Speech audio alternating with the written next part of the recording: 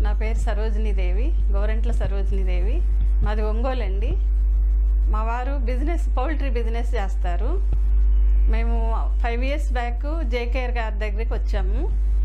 టీవీలో వారి ప్రోగ్రాం చూసి మాకు నచ్చి రావాలనిపించి కొన్ని సమస్యల వల్ల బిజినెస్లో బాగా లాసెస్ వచ్చి ఆయన కొంచెం బ్యాడ్ హ్యాబిట్స్ అంటే వేరే ఏం లేదండి డ్రింకింగ్ ఉంది బాగా.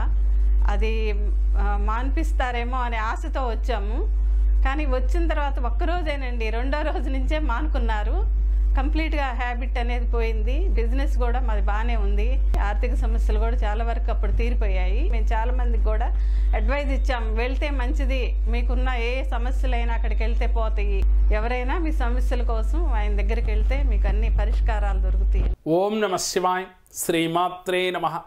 మీకున్న ఎటువంటి కోరికలైనా వెంటనే తీరాలి అంటే సహజంగా మనిషికి కోరికే ముందు ఉండి తీరుతుంది. అది నాకైనా మీకైనా ఎవరికైనా కానీ కోరికలు లేని మనిషి ఈ కలియుగంలో ఉండడు అనే సత్యం వేరుగా చెప్పనక్కర్లేదు. మరి ఆ కోరికలు మనకు వెంటనే నెరవేరాలంటే కొన్ని కొన్ని క్రియలు మానవ ప్రయత్నం మనం చేసినప్పటికీ కూడా దైవికంగా కొన్ని చేస్తూ ఉండాలి. మరి ఇలా చేస్తే కోరికలు తీరిపోతాయా అనే సందేహం చాలామందికి వచ్చేసే ఉంటుంది ఈ పాటికి. వాస్తవానికి మానవ ప్రయత్నం మనం చేస్తూ మీరు ఎన్నుకున్న పనిలో మీ ప్రయత్నం మీరు చేస్తూ దైవం యొక్క అండ కోసం ఇలాంటి చిన్న చిన్న క్రియలు చేయాలి. ఏమిటి ఈ క్రియ అంటే చక్కగా ఒక మంగళవారం కానీ శనివారం కానీ ఆంజనేయ స్వామి వారి దేవాలయానికి వెళ్ళండి. ఆంజనేయ స్వామికి అరటిపండ్లు నైవేద్యంగా పెట్టండి.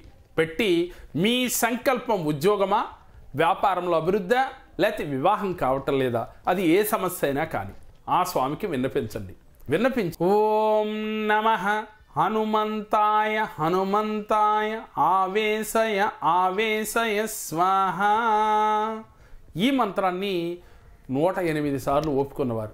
లేనివారు యాభై నాలుగు సార్లు. ఇంకా అవకాశం లేనివారు ఇరవై ఒక్క సార్లు. ఇలా ఎవరైతే ఒక మండలం రోజుల పాటు క్రమం తప్పకుండా చేస్తారో వారికి ఎటువంటి కోరిక అయినప్పటికీ కూడా సత్వరమే తీరిపోతుంది. అలాగే మనసులో విపరీతమైన కోరికలు ఇబ్బంది పెడుతున్న వారికి ఆవేశం ఎక్కువగా ఇబ్బంది పెడుతున్న వారికి కొంతమందికి క్షణకావేశంలో అనేక ఆలోచనలు వచ్చి కొన్నిసార్లు అసలు ఈ జీవితమే వేస్ట్ అనుకునేవారు చాలామంది మనకు కనపడుతూ ఉంటారు స్త్రీలు కానీ పురుషులు కానీ. అటువంటి వారు సైతం ఈ మంత్రాన్ని మనసులో జపించి చూడండి.